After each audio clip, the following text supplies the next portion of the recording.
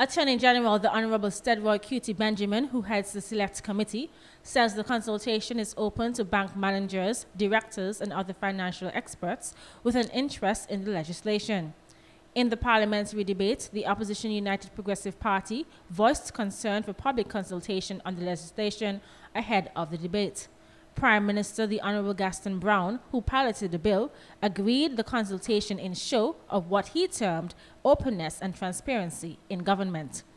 Consequently, a committee comprising of the Attorney General, the Honorable Robin Yearwood, the Honorable Molwyn Joseph, the Honorable Baldwin Spencer, and the Honorable Joan Massiah was formulated to hold consultations with the parties concerned. The new act removes authority from the Minister of Finance to issue licenses for banks and financial institutions and places that authority with the Eastern Caribbean Central Bank. The law will also set new monetary requirements for financial institutions, requiring minimum capital for banks to be at least not less than $20 million, and for other financial institutions to be not less than $5 million.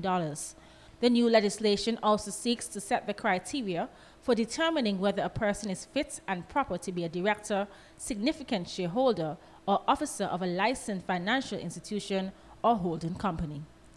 For ABS News, Elisa Graham reporting.